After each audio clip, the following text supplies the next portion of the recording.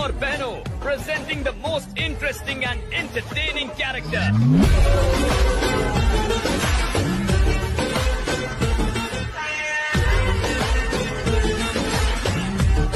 अब होगा एंटरटेनमेंट शुरू